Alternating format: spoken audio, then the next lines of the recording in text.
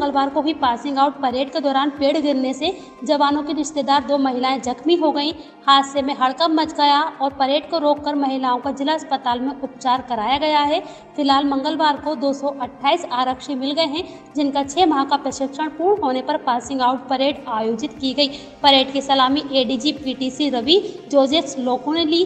Batch में सर्वोत्तम सर्वांग शुभम तालियान को चुना गया है। 24वीं वाहिनी पीएससी में परेड के भव्य आयोजन में जवानों के साथ परिजन भी शामिल होने आए थे। परेड के दौरान अचानक एक पेड़ गिरने से दो महिलाएँ दब गईं। बताते हैं कि अलीगढ़ के टप्पल निवासी कमलेश और सारंगपुर बुलंदशहर निवासी रामबती घायल हो गई।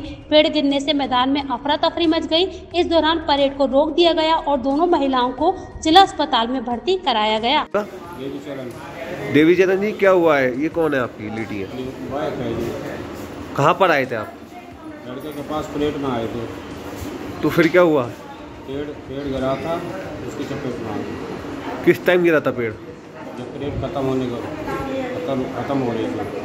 अच्छा। कहाँ के रहने वाले हैं आप? गाँव लालपुर चप्पल पाना जिला अलीगढ़। रहते बल्लभगढ़ में। बेटे का क्या नाम है आपके? सोनू। कौन सी पीएससी में है वो? हाँ पी में।